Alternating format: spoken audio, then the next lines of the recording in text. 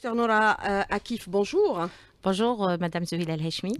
Alors, en raison de l'augmentation du risque professionnel et les risques émergents, la santé au travail est devenue aujourd'hui une, une, euh, est devenue une question impérative, absolument, docteur Akif. Oui, en effet, la santé et sécurité au travail est actuellement une préoccupation majeure. Euh, d'ailleurs, euh, l'Algérie euh, a ratifié un, certain nombre de conventions internationales, au nombre de 60, et elle a ratifié la convention, la numéro 155, depuis juin de l'an 2006. Celle-ci est relative à la sécurité et santé au travail. Et c'est vrai qu'en Algérie, nous avons aussi un dispositif législatif et réglementaire riche. Euh, au total, nous avons près de 55 textes entre lois, décrets et arrêtés. Mais euh, en tenant compte, comme vous l'avez si bien dit, euh, de l'évolution des technologies, de nouveaux process de travail, donc il y a des risques émergents qui nécessite bien sûr euh, d'ouvrir euh, des chantiers de dossiers et euh, de se pencher sur ces préoccupations. Mais justement, j'allais vous poser cette question, docteur Noura Akif. ce dispositif est suffisant ou il faut aujourd'hui l'améliorer davantage? Puisque hier, nous avons vu que vous avez abordé au niveau de l'UGTA, vous avez abordé le président de la République pour la mise de en place de certaines dispositions spécifiques pour la prise en charge des travailleurs euh, malades. Et on a vu que tout de suite, le président de la République a répondu favorablement à vos sollicitations. De quelle maladie avez-vous exactement parlé? Euh, Puisque vous avez eu l'accord. Oui, euh, merci. Donc, euh, nous n'avons pas spécifié des maladies bien précises, mais au fait, les deux points qui ont été abordés à notre président de la République concernent la demande pour la mise en place des modalités de prise en charge des travailleurs qui sont atteints de maladies chroniques graves et pour lesquels Tel que le cancer? Oui, par exemple le cancer. Donc nous avons proposé la mise en place du système euh, le mi-temps, le mi-temps euh, partiel thérapeutique, qui est une variante du temps partiel et qui correspond à la moitié euh, du temps du travail normal, soit 50% de la durée légale ou conventionnelle du travail. bien sûr, ceci a un avantage parce qu'il va permettre donc de concilier le rétablissement et l'activité professionnelle. Le but, euh, c'est de permettre donc aux travailleurs atteints de maladies graves une reprise progressive du travail euh, en tenant compte de leur état de santé. Il y a eu une autre sollicitation, puisque vous avez eu le, quitus pour celle-ci. Il y a eu aussi une autre demande que vous avez formulée également, docteur Akif. Oui, la deuxième demande, elle concerne les femmes travailleuses euh, et plus précisément concernant le congé de maternité, lequel actuellement est légal, est un droit, il est de 98 jours et la demande a été formulée pour les femmes travailleuses qui mettent au monde donc des nouveau-nés qui sont malades, qui sont atteintes de maladies graves, qui nécessitent une prise en charge sur une longue durée. Donc on, a formulé la demande de prolonger la durée du congé de maternité pour permettre à ces mamans de s'occuper de leurs euh, enfants.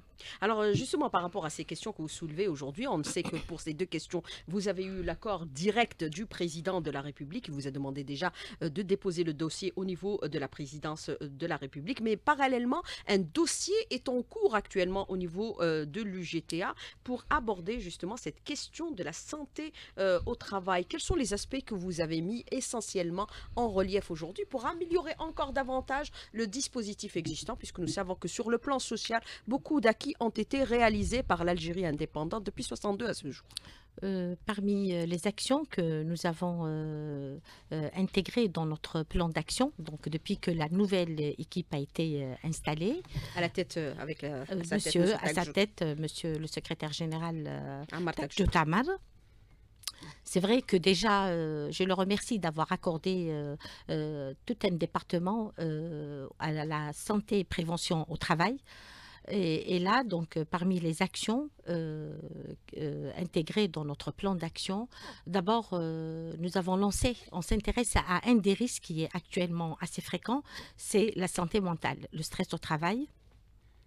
Et pour ce, nous avons déjà initié une enquête nationale sur le stress au travail qui concerne donc tous les travailleurs sur le territoire national, tous les secteurs d'activité et et concerne toutes les catégories professionnelles. Ce questionnaire euh, est basé sur un questionnaire validé scientifique et dont l'objectif, c'est d'abord avoir un état des lieux sur la fréquence de ce nouveau risque professionnel qui devient, comme je l'ai dit, de plus en plus fréquent et pour réfléchir aux modalités de prise en charge et de réparation, pourquoi pas.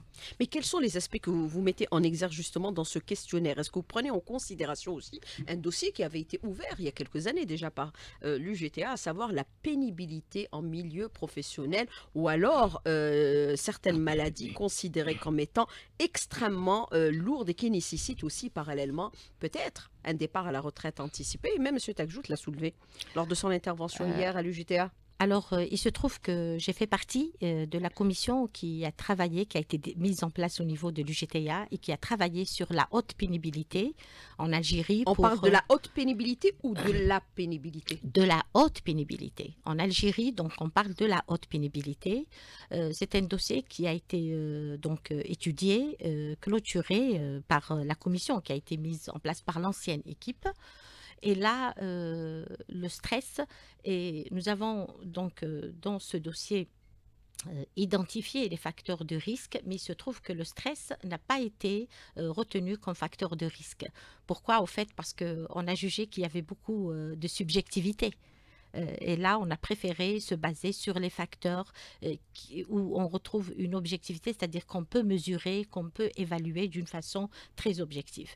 Cependant, euh, le stress au travail aussi, il a ses facteurs et parmi les facteurs, il y a en effet des facteurs qui sont liés aux conditions de travail, où on retrouve en effet la notion de la pénibilité.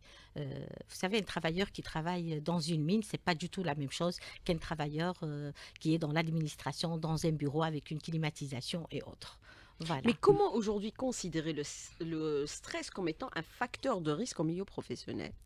Oui. Pour être plus clair. Très bien. Donc, Docteur euh, oui, euh, le stress est un risque professionnel, je le dis, tout simplement parce que il a des effets sur l'état de santé des travailleurs. Donc, tout risque professionnel qui peut avoir un impact qui va détériorer la santé du travailleur est considéré comme étant un risque professionnel. D'une part, en plus, le stress, comme je l'ai dit, il est euh, engendré plusieurs facteurs sur les lieux de travail sont incriminés, notamment, comme je l'ai déjà dit, des facteurs organisationnels. Et là, je prendrai les horaires de travail. Les travailleurs qui travaillent la nuit, euh, pas par, euh, euh, c'est pas consécutif à leur choix, mais c'est une obligation les travailleurs, par exemple, au sud, qui travaillent le système 4-4, donc ils sont euh, pendant quatre semaines dans, dans des conditions, ils sont loin de leur famille, de leur vie habituelle, et là, c'est quand même une source de stress. Nous avons également les conditions de travail, l'exposition à certaines nuisances professionnelles, le bruit, les hautes températures. La surdité pour les gens de la radio, par exemple Bien sûr, oui, en effet. la surdité, c'est un facteur euh, qui aussi aggrave, euh, intensifie le stress. Hein. Voilà. Non, mais euh, je, voudrais, revenir avec vous. Quel est le rôle aujourd'hui si on devait faire, par exemple, un bilan sur la médecine au travail euh, en Algérie? Est-ce qu'au niveau de toutes les structures, on doit se doter de euh, cette direction impérativement? Et est-ce qu'il faut associer des médecins spécialistes dans toutes, par exemple, les pathologies, puisque vous avez saisi le président de la République, par rapport à certaines maladies chroniques et lourdes, comme par exemple le cancer? Est-ce qu'il faudrait, par exemple, au milieu professionnel aussi, avoir euh, des oncologues euh, pour pouvoir identifier la pénibilité. C'est vrai que quelqu'un de cancéreux ne peut pas travailler à temps plein. Donc, euh, d'abord, euh, je réponds à la première partie de votre Mm. question. Euh, en Algérie, nous avons, comme je l'ai dit, un dispositif législatif et je citerai la loi mère, qui Mm. est la loi euh, 8807 du 26 janvier 1988, qui est relative à l'hygiène, à la sécurité et à la médecine du travail, laquelle stipule que tout employeur est tenu de mettre en place la- la- la- un, un médecin du travail. C'est-à-dire que Public là, et privé. Euh, peu importe, oui, bien sûr, ça concerne euh, cette loi, elle, est, euh, elle Concerne tout le toutes les entreprises, qu'elles soient du secteur public ou privé. Et euh, parmi les prérogatives et les missions euh, de la médecine du travail, bien sûr, c'est la surveillance médicale dont l'objectif est la prévention. C'est la prévention médicale, c'est-à-dire que nous, notre rôle à travers les visites médicales obligatoires, le dépistage des maladies, celles qui ont une relation avec le travail, donc qui ont un caractère professionnel, et celles euh, qui ne sont pas directement liées au travail. Ceci permet une prise en charge médicale précoce afin d'éviter l'aggravation de leur état de santé. Maintenant, la collaboration, en effet, nous, on ne cesse d'insister sur l'importance de la multidisciplinarité. Nous, notre rôle, c'est le dépistage. Généralement, il y a des généralistes. Euh, oui, les généralistes, parce que la convention type, qui est Mm. relative à la médecine du travail, permet Mm. euh, aux employeurs euh, de, de, de- de confier cette mission de la prévention médicale et de la surveillance médicale des travailleurs aux généralistes, aux médecins généralistes. Euh, donc là, euh, le rôle, la mission principale, c'est le dépistage, comme j'ai dit, des maladies au stade de début. Ceci permettra un meilleur suivi, une meilleure prise en charge. Et en fonction du diagnostic qui serait retenu, on oriente le travailleur malade vers le médecin spécialiste pour une prise en charge spécialisée. Mais justement, c'est la question de l'auditeur. Je vais la poser tout à l'heure. Est-ce que le secteur privé est concerné aussi euh, par ce plan euh, d'action? Alors, la santé au travail relève aujourd'hui des prérogatives de l'employeur essentiellement, c'est les prérogatives de l'État, puisque nous avons vu qu'il y a un conventionnement par rapport à ces médecins avec euh, la CNAS. Euh, donc, euh, en effet, la médecine du travail, comme je l'ai dit, c'est une obligation de l'employeur. Sa mise en place est obligatoire pour tout employeur. Et euh, la CNAS, elle prend en charge, bien sûr, c'est un, euh, acteur principal aussi, c'est déjà un organisme de prévention, d'une part, et d'autre part, c'est lui qui prend en charge toutes les maladies, bien sûr, euh, professionnelles, qui sont reconnues et réparées euh, en Algérie, en plus euh, du risque lié aux accidents du travail. Donc, tout accident du travail, toute maladie professionnelle est prise en charge par, par euh, la Caisse nationale des assurances sociales. Mais justement, vous abordez une question qui est importante également, le euh, les accidents de travail en milieu professionnel. Aujourd'hui, certains disent que, par exemple, par rapport aux frais par rapport aux indemnisations, il n'y a pas eu de réactualisation des montants de tarifs, bien sûr, assujettis à des enquêtes. Quelle est votre réponse par rapport à cette question précisément, euh, docteur Akif? Euh, je pense que là, il y a une petite euh, confusion. Pour les accidents du travail, nous avons une loi euh, 83 euh, 13 du 2 juillet 1983 qui prend en charge les accidents du travail et les maladies professionnelles. Pour les modalités de prise en charge, elles Mais sont elle date de bien 1983. Oui, mais au fait, elles sont euh, bien euh, définies. Euh, maintenant, c'est assez spécifique pour les accidents du travail et les maladies professionnelles. Les accidents du travail particulièrement, le problème ne se pose pas. Parce que quand on dit réparation, c'est les prestations en espèces et les prestations en nature. Donc, euh, le, le salaire du travailleur est pris en considération. C'est sur la base du salaire qu'il calcule euh, le- le- la prise en charge, comme j'ai dit, des frais, des- du nombre de jours, le remboursement et la prise en charge du nombre de jours euh, d'absence qui sont liés à, au- à l'impact des accidents, de l'accident du travail. Mais Maintenant, oui, Maintenant, euh, j'ai bien compris par rapport euh, aux soins d'une façon générale, peut-être. Vous avez, euh, euh, vous voulez aborder ce point Mm. par rapport euh, aux modalités de remboursement, par exemple les oui, scanners je parle qui est de fait. mon- oui. Moi, je pense que ce point a été déjà, euh, c'est une des préoccupations effectivement de tous euh, les citoyens, les salariés, les travailleurs algériens, et ça, ça a été euh, donc abordé et c'est, ça fait partie des missions de la CNAS. Voilà, Alors, mais une autre question avant Oui. de terminer cette première partie de l'invité de la rédaction, docteur Akif. Les congés de maladie, de maternité, vous avez soulevé cette question pour les mamans qui, malheureusement, pourraient avoir un enfant, bien sûr, avec des malformations congénitales. Mais pourquoi il y a cette disparité pour, par exemple, le congé de maladie, de maternité entre le privé et le public, puisque nous avons vu qu'au niveau de la CASNOS, par exemple, il n'est pas remboursé? Oui, eh ben ça c'est comme je vous l'ai dit, c'est des vous questions. Avez abordé aussi ça? euh, Non, non, je ne l'ai pas abordé. Dans votre rapport, vous allez le soulever? euh, Honnêtement, euh, je vais introduire cette réflexion, cette préoccupation et on verra. Voilà. Docteur Nora Akif, euh, merci euh, de répondre à nos questions. Restez avec nous pour la deuxième partie de l'invité de la rédaction. Cinq minutes seront également consacrées aux questions des auditeurs qui nous contacteront sur notre page Facebook invité de la rédaction. A tout de suite. Alors, euh, docteur Nora Akif, moi je voudrais revenir avec vous sur un sujet qui est très important puisque nous avons vu que les travailleurs aujourd'hui, par moment à la retraite, découvrent malheureusement beaucoup de maladies. Beaucoup, pendant leur exercice professionnel, sont atteints aussi de maladies chroniques les plus répandues. Nous avons vu euh, le diabète et l'hypertension artérielle. Il y a aussi d'autres maladies euh, non contagieuses. Euh, par exemple, vous avez aussi, par exemple, le cancer qui se répand en milieu professionnel de façon aussi assez importante. Vous avez aussi d'autres pathologies, malheureusement, que subissent actuellement les malades. Le dépistage en milieu professionnel, ça doit être aussi une obligation impérative puisque nous avons vu aujourd'hui que beaucoup aussi de travailleurs sont atteints de maladies à l'âge très jeune. Quelle est votre réponse justement par rapport à cette question avant d'aborder la deuxième? J'allais euh, merci. Euh, en effet, comme je vous l'ai dit, euh, nos missions euh, principale en qualité de médecin euh, du travail, c'est la préservation de la santé des travailleurs. Et pour aboutir à ça, donc c'est à travers la surveillance médicale qui est obligatoire, comme je l'ai dit, c'est une obligation de tout employeur conformément à la réglementation algérienne, et c'est la loi 8807 du 26 janvier 88.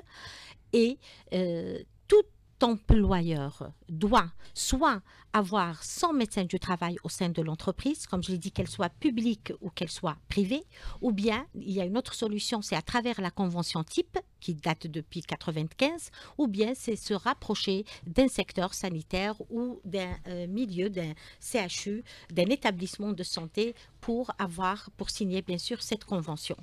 La médecine du travail est une obligation de l'employeur.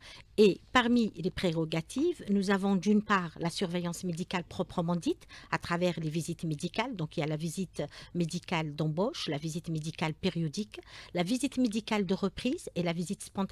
C'est quand le travailleur éprouve le besoin de consulter parce qu'il a un problème de santé. Et en plus de cette surveillance médicale, nous sommes également responsables de l'étude des conditions de travail pour identifier les risques professionnels auxquels sont exposés les travailleurs. Ceci permettra d'orienter notre surveillance médicale, de réaliser des examens complémentaires, donc un audiogramme par exemple pour les travailleurs qui sont exposés au bruit. Je n'attendrai pas jusqu'au jour où le travailleur se présente à mon cabinet pour me dire je n'entends pas bien. C'est à moi de procéder à la réalisation des audiogrammes d'une façon régulière pour dépister cette maladie qui est la surdité professionnelle au stade de début où elle est réversible. Je n'attends pas jusqu'à ce que j'en fasse des handicapés sensoriels. Donc là, comme je l'ai dit, l'étude des conditions de travail permet d'identifier les risques professionnels et permet bien sûr de formuler des recommandations pour améliorer les conditions de travail, ce qui permettrait de préserver la santé des travailleurs et de prévenir l'apparition de maladies professionnelles. Euh, mais justement, par rapport à ce que vous abordez à l'instant, docteur Nora Akif, très intéressant au profit des travailleurs, mais vous parlez des textes qui sont qui relèvent euh, de l'autre siècle, c'est-à-dire euh, la convention, la, loi sur bien sûr la santé au travail date de 1983. Vous avez abordé aussi la convention type qui date de 19 1995. Mais est-ce qu'il ne faudrait pas réactualiser tout ce dispositif, les, dispositifs législatifs, puisque nous avon vu qu'avec la période du Covid, il y a eu également des situations euh, de euh, pratiquement de maladies, euh, c'est-à-dire émergentes, qui n'avaient pas été prévues par le passé dans le cadre de cette loi, même s'il y a certaines dispositions qui ont été prises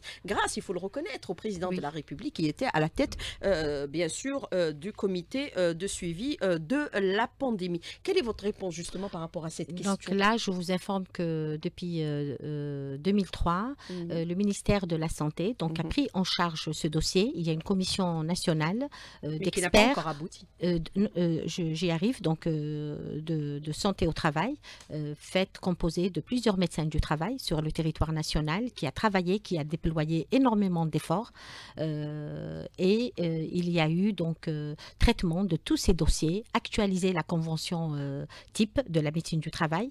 je pense que les travaux sont tirent vers la fin, donc ils vont, il y a beaucoup de choses qui vont être actualisées. Ils ont pris conscience de la nécessité de revoir et de compléter, déblayer tous ces textes. Tout à fait, c'est fait et je pense que je vous ai dit cette commission est sur la fin de ces travaux et il y aura du nouveau, je le souhaite. Voilà. Alors, bien sûr, vous avez abordé la question euh, du stress en milieu professionnel. L'harcèlement en milieu professionnel, est-ce qu'il peut être aussi à l'origine de certaines maladies, puisque nous avons vu que certains, certains travailleurs peuvent aller jusqu'à la dépression? Oui, donc euh, parmi les facteurs euh, qui sont à l'origine du stress professionnel, on retrouve donc euh, l'harcèlement. Et là, on a l'harcèlement sexuel d'une part et l'harcèlement moral d'autre part. Euh, en effet, ce sont des facteurs de risque professionnel euh, pour lesquels il faudrait donc avoir une euh, attention particulière parce que, comme je l'ai dit, ils sont à l'origine du stress professionnel et le stress a des conséquences néfastes sur la santé des travailleurs, donc victimes de cet harcèlement. on peut, il peut être à l'origine de maladies cardiovasculaires. parfois, on entend qu'il y a un travailleur qui, est, qui était à son poste de travail et subitement, il fait un arrêt cardio-respiratoire, un arrêt cardiaque. Et là, en effet... Au milieu professionnel. En milieu, sur les lieux de travail, oui. Il y a eu des travailleurs euh, qui sont décédés, euh, qui ont fait des arrêts cardiaques. Et on se pose la question, quelle est l'origine de ce décès.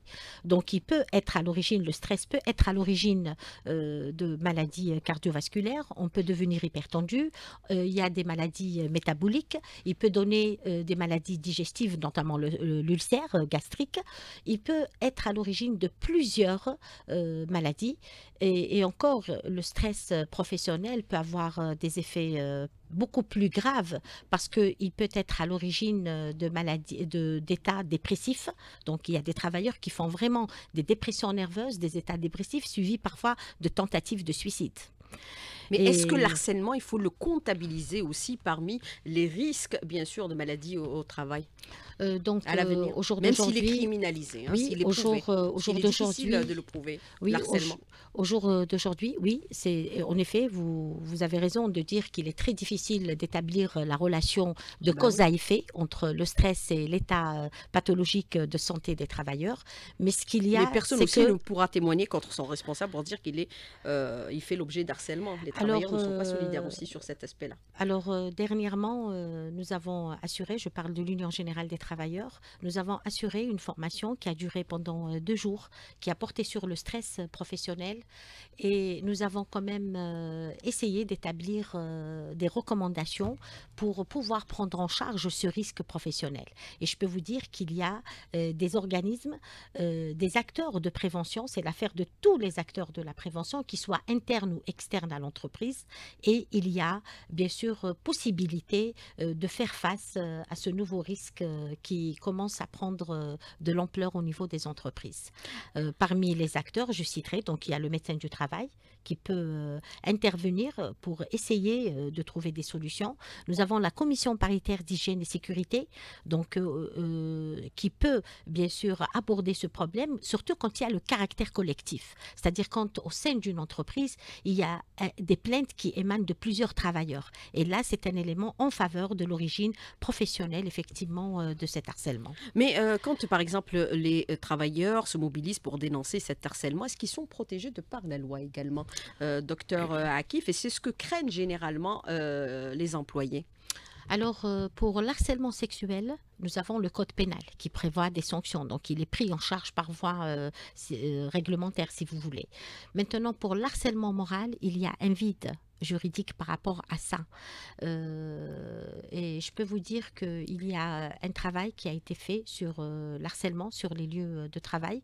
Donc un travail, c'est un projet et ça concerne aussi la violence sur les lieux de travail. au jour d'aujourd'hui, nous n'avons pas un texte réglementaire qui sanctionne, si j'ose utiliser ce terme, les harceleurs et qui protège la personne qui dénonce l'harceleur. Et j'espère que ça Même va au venir. milieu professionnel. Oui, oui, je parle au milieu professionnel, évidemment. Alors, euh, je voudrais revenir avec vous aussi euh, sur un autre aspect qui est important par rapport, bien sûr, à cette euh, santé euh, au travail. On parle bien sûr de certains aspects. Vous avez parlé des lois et dispositifs qui sont en cours de révision actuellement au niveau du ministère de la Santé. Le, par exemple, l'hygiène au milieu professionnel, c'est une exigence également. Oui, euh, la loi, d'ailleurs, euh, 8807 du 26 janvier 88, elle est relative Mhm. à l'hygiène, à la sécurité et à la médecine du travail. Euh, L'hygiène, euh, ça concerne d'une façon générale les conditions de travail. Et c'est pour ça que je vous ai dit, parmi les prérogatives euh, de la médecine du travail, il est tenu donc de procéder à la visite des lieux de travail et euh, de dénoncer les insuffisances et les dysfonctionnements pour améliorer les conditions de travail. Euh, je cite euh, un exemple. la mise à disposition, par exemple, d'un point d'eau potable est bien précisée dans la réglementation. Voilà. Alors, euh, le euh, par exemple, euh, aujourd'hui, vous avez de- beaucoup de questions ce matin, des questions des auditeurs qui vous disent aussi, vous avez parlé un peu du congé de maternité qui pourrait être allongé et le président a accepté votre demande die hier lors de la rencontre avec les travailleurs au siège de l'UGTA. Cette auditrice pose aussi le- la question des mamans travailleuses qui ont des enfants avec handicap lourd, avec autisme sévère. Peut-elle aussi faire euh, euh, l'objet d'aménagements dans les horaires de travail Est-ce que cette question pourrait être élargie parce que nous savons que la prise en charge d'un handicap, c'est extrêmement lourd. Eh bien, je peux dire que, pardon, euh, puisque notre département s'occupe également de la condition de la femme travailleuse, je m'engage à introduire ce point ultérieurement. Alors, euh, autre question, euh, docteur euh, Akif, par exemple, le contrôle sanitaire au milieu professionnel, comment doit-il euh, s'opérer? Est-ce que les médecins du travail, de l'organisme en question, doivent, euh, c'est-à-dire effectuer des contrôles euh, périodiques euh, au niveau euh, du siège du travail pour voir euh, dans quelles conditions euh, sont, euh, exercent les travailleurs? Est-ce que ça devrait être ainsi? Alors, euh, le contrôle, je rectifie Madame Souila Lachmi, nous, on n'a pas cette prérogative de contrôle. Non, je nous, parle c'est à l'étude. l'av- voilà, je c'est parle à l'avenir. Non, comment les choses devraient se faire conformément à la loi et aux dispositions existantes actuellement. Non, mais votre mot est bien placé. Mm. Euh, il y a un organisme qui, qui est responsable du contrôle des conditions de travail. Mhm. D'une part, c'est l'inspection du travail, ça fait partie de ses prérogatives. Et par ailleurs, vous avez également des agents de contrôle de la CNAS. Mhm. Donc, eux, ils ont cette mission, c'est-à-dire qu'ils peuvent faire des visites inopinées, ils peuvent aller là où ils veulent, à- l'heure qu'ils veulent, de jour comme de nuit, pour euh, justement procéder au contrôle des conditions de travail et autres. Nous, les médecins du travail, notre prérogative, c'est l'étude des conditions de travail, c'est-à-dire on reste scientifique. Quoi. Et ça, l'objectif, nous, c'est l'identification des risques professionnels, euh, c'est pour voir les insuffisances et les manquements pour formuler des recommandations, comme je l'ai dit, et améliorer les conditions de travail. Mais l'inspecteur du travail, il peut passer à la sanction. Il peut passer à la sanction, Que prévoit justement ce la réglementation. chapitre par rapport à la sanction? Alors, euh, ça peut aller. euh, euh, ils peuvent donner, euh, par exemple, peuvent procéder à la fermeture carrément d'un atelier, d'une entreprise. Il y a une amende à payer, donc il y a tout un- toute une loi concernant, euh, même la loi du 26 janvier 88. Il y a un article, euh, un chapitre spécifique aux sanctions en cas du non-respect euh, de la réglementation, en cas où les conditions de de travail sont très défavorables en cas où les travailleurs sont exposés d'une façon très intense au risque professionnel. Et il faudrait peut-être aussi la révisiter, cette loi de 88, puisqu'aujourd'hui, nous avons vu que l'ampleur de l'informel a pris aussi des proportions inquiétantes, puisque certains employeurs, il faut le reconnaître, ne reconnaissent pas leurs travailleurs. Alors, c'est-à-dire au niveau de la sécurité sociale, je parle, hein, ne déclarent pas plutôt, mais pas ne pas reconnaître, ne, déclare, pas. Pourquoi le tableau des maladies professionnelles n'a pas été actualisé depuis longtemps? On parle pratiquement des années 80, en particulier en ce qui concerne le concert professionnel. Euh, donc, euh, et c'est un débat qui avait été engagé par rapport à un moment donné euh, à certains cancers qui commençaient à émerger dans notre pays. Donc, liés par exemple à l'amiante dans un milieu professionnel. C'est réparé. Donc là, pour les maladies professionnelles, en effet, aujourd'hui, nous avons 85 maladies professionnelles qui sont reconnues et réparées en Algérie. c'est vrai qu'on a vu l'évolution du nombre de tableaux. à travers le monde, ça a beaucoup évolué. oui, là, nous, euh, bon, les tableaux étaient, le nombre était à 48, 60, après plus de 80. Le dernier tableau date de l'an 2003. C'est le tableau 85 euh, qui euh, correspond à la dysphonie des enseignants. Euh, il y a euh, la Commission nationale euh, des maladies professionnelles qui, existe, donc elle est mise en place. Il suffit avec la Covid, donc il n'y a pas eu, si vous voulez, d'action, mais notre souhait est que cette Commission nationale des maladies professionnelles soit redynamisée et afin justement d'élargir la liste des tableaux des maladies professionnelles en tenant compte de nouvelles maladies qui sont apparues et qui je pense, qu'il mérite quand même d'être reconnu et réparé. Et Vous avez les médecins et les biologistes qui sont exposés à plusieurs risques également. Oui, il y a, le tableau, il y a le tableau 75 hmm. qui prend en charge les maladies euh, infectieuses chez le personnel de santé. Il est spécifique au personnel de soins. Et euh, aussi, même pour les tableaux existants, il y a aussi nécessité d'actualiser, de réviser certains tableaux. Vous avez parlé des cancers euh, professionnels. Un certain nombre de tableaux tiennent compte et répare un certain nombre de cancers, notamment le cancer euh, lié à l'amiante. Il est reconnu et réparé en Algérie, le mésothélium et le cancer bronchique. Ce sont des cancers professionnels reconnus et réparés. C'est vrai qu'il y a euh, des cancers professionnels qui ne figurent pas, qui ne sont pas, euh, euh, pas sur les tableaux. À titre d'exemple, puisque vous avez parlé des biologistes et autres, par exemple le tableau numéro 45 qui répare les hépatites virales professionnelles. Et nous savons tous au jour d'aujourd'hui que le cancer du foie est une complication. Peut être euh, provoqué par euh, un certain nombre de virus, notamment le virus B et le virus C. Mais quand on prend le tableau qui répare les hépatites virales, on voit que le cancer ne figure pas. Donc il y a lieu d'actualiser même les tableaux existants. Alors euh, vous avez aussi cette question de l'auditeur qui vous dit nous sommes une association des professionnels de la sûreté et de la sécurité des entreprises à NPSSE. Pourrions-nous intervenir directement pour la sécurité et la santé des travailleurs et comment pouvons-nous apporter une assistance aux entreprises et aux travailleurs en, euh, en collaborant avec vous euh, alors, euh, moi, je pense, si je dois formuler une proposition, ils doivent se rapprocher des employeurs, d'une part, et puis des services de médecine du travail pour essayer de voir la possibilité pour une éventuelle collaboration. Moi, je pense que les portes sont ouvertes. Tout ce qui est dans l'intérêt des travailleurs est le bienvenu. Euh, maintenant, je ne, peux pas leur donner une réponse bien précise, mais je vous ai dit, ils peuvent se rapprocher euh, euh, des services de médecine du travail, du ministère de la Santé, des employeurs pour voir les possibilités pour travailler ensemble et pour qu'ils puissent intervenir. Alors, euh, j'ai plus de 17 ans d'expérience professionnelle et j'ai jamais vu le médecin de travail faire une visite sur un site uniquement euh, ou des visites périodiques. Comment peut-on qualifier aujourd'hui cette situation euh, par rapport à la question de l'auditeur ou l'interrogation de l'auditeur? Alors moi, je vais juste formuler une proposition comme j'ai dit, la commission paritaire d'hygiène et sécurité est une obligation aussi à travers euh, le décret du 8 euh, janvier de l'an 2005.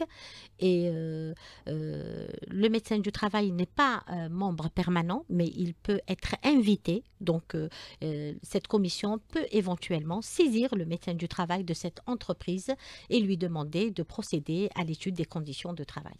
Alors, dépistage des maladies infectieuses comme l'hépatite, par exemple, est-ce que ça doit être aussi pris en considération? Il y a beaucoup de questions des auditeurs ce matin, Madame Docteur Akif. vous pouvez reprendre la question, s'il vous plaît, de Le dépistage des maladies infectieuses comme l'hépatite. Oui.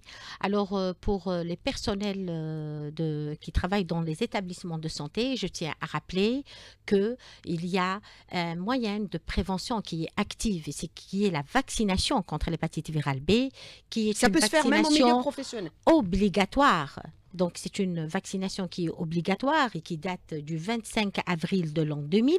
Donc, euh, d'ailleurs, l'Algérie... Même pour les maladies les réémergentes, la vaccination doit être périodique tous les 10 ans. Euh, Réactualisée, oui, pour certaines, euh, donc c'est la vaccination antidiphtérie antitétanique voilà. adulte, qui est aussi une vaccination obligatoire pour tous les travailleurs, quel que soit leur secteur d'activité. Quant à la vaccination contre l'hépatite virale B, elle est obligatoire pour tous les travailleurs qui sont exposés aux risques, qui sont en contact, qui soient directs ou indirects avec le sang, avec les patients et avec les liquides biologiques. Maintenant, euh, cette obligation vaccinale, hélas, je ne peux pas vous dire qu'en Algérie, on a un taux de couverture de vaccination de 100%. Euh, mais pour le dépistage, oui, quand un travailleur euh, euh, désire se faire dépister, il, doit, il peut se rapprocher de son médecin du travail. Il y a possibilité de dépister cette maladie à travers les marqueurs sérologiques et autres.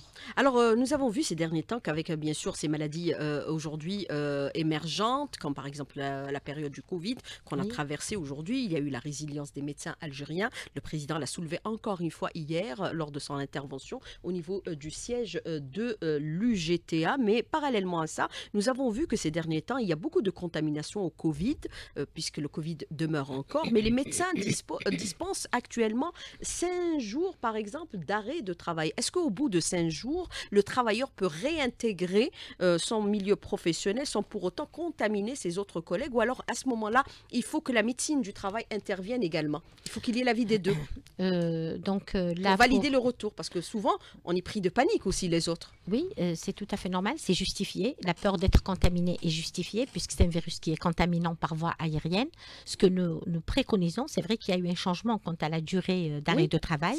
On est passé à 5 jours, mais à la reprise, il est recommandé. Les personnes reviennent, réintègrent, mais tous. mais il est recommandé, bon, on reprend l'activité professionnelle, mais on doit porter ses équipements de protection individuelle. Mais si on ne les porte pas, le... et on ne ah. déclare pas euh, eh ben, la déclaration, c'est un problème euh, majeur. On l'a connu pendant la pandémie. Mm. Beaucoup de personnes étaient euh, atteintes et elles ne respectaient pas les mesures préconisées d'hygiène, c'est-à-dire les, les, Mais est-ce que, par exemple, au niveau de l'administration, le certificat de la personne contaminée au Covid doit être transmis automatiquement au médecin du travail? Oui, pas automatiquement. pas, oui, normalement, pour exiger c'est une maladie à mm. déclaration obligatoire et nous sommes tenus de tenir les statistiques, bien sûr, relatives à cette maladie. Et les médecins du travail, c'est eux qui sont, euh, si vous voulez, euh, euh, responsables, parce qu'on mentionne sur le certificat médical que c'est la COVID-19. C'est ce qui justifie les, cinq jours d'arrêt de travail. C'est-à-dire que là, la CNAS ou autre ne peut pas contester. Et parfois, il y a eu des facilités qui ont été faites par certains employeurs. Ils ne déclarent pas à la CNAS. C'est-à-dire quand sur le certificat, la mention COVID est mentionnée, le travailleur est en arrêt de travail et il reprend après les cinq jours sans avoir affaire euh, à la CNAS. Alors, autre question de l'auditeur très pertinente. Pourquoi l'indemnité accident de travail n'est pas reconnue par la CASNOS, contrairement à la CNAS? Les deux sont des caisses d'assurance sociale, mais qui n'offrent pas les mêmes prestations entre le public et le privé. Comment l'expliquer aujourd'hui? Puisque j'ai soulevé également la question des congés de maternité pour le privé au niveau de la euh, CASNOS. ça a été souvent soulevé par les travailleurs. Honnêtement. Euh, Alors qu'on est régi par le même code du travail. Ça rentre dans le cadre du Code Tout du travail. Moi, je pense que la législation du travail, oui. Euh, moi, je pense que la CNAS, bon, il y a euh, la loi 80 euh, 3.13 du 2 juillet 83 qui est clair net presse. Oui, moi je pense que rien n'est impossible exactement. Il y a juste, euh, il faut euh, donner un peu plus peut-être d'importance à ce dossier et le soumettre à qui de droit pour pouvoir faire avancer les choses. C'est de bien ficeler le dossier et le transmettre euh, au ministère du Travail. Mais vous, quand vous faites votre rapport, vous parlez des travailleurs de façon globale ou vous parlez des secteurs publics exclusivement, docteur Akif?